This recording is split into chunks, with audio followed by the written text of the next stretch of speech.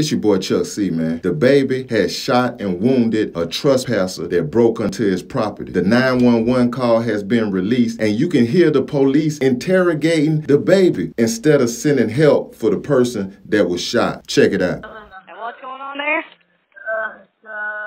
Got trespassing on my property. Hurry up, yeah. Sir, what did you do? I shot him in his leg. Okay. And why did you do He's that? trespassing on. He's trespassing on my property, calling me by my name. I don't know what he's here for, what he here to take, what he here to do, but he Okay, shot are his you with leg. him He's now? neutralized. He's neutralized until you guys get here. Sir, are you with him now? He's right here in front of me. Okay. Is he awake? Well, one football field on my property. Sir, is he awake? Yes. yes. Do you hear him? Is he breathing? Yes. yes. He's shot Okay. in his leg.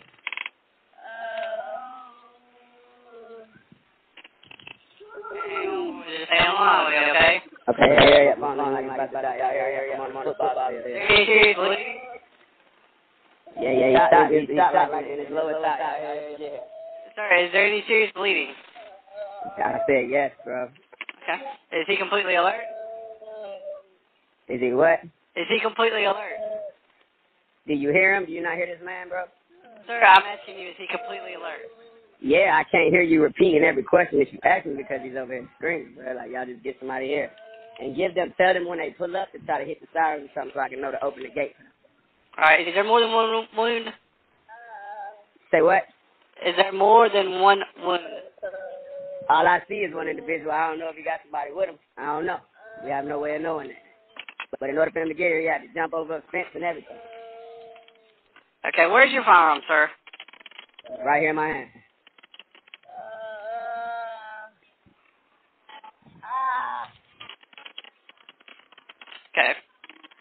I'm gonna need you to secure your firearm, sir. Sir. It's secure. Sir. It's secure. I told you it's secure. I'm not putting it down with this with this trespass right here on my property. I'm not doing it. I don't Okay, know who he I understand that. I understand that, sir, but I no, I'm talking to about. I mean, I have to let the police in the gate anyway, but I don't know who he got with him, what he came up for, but he's already uh, acre onto my property, and he had to trespass on somebody else's property to even get on my property.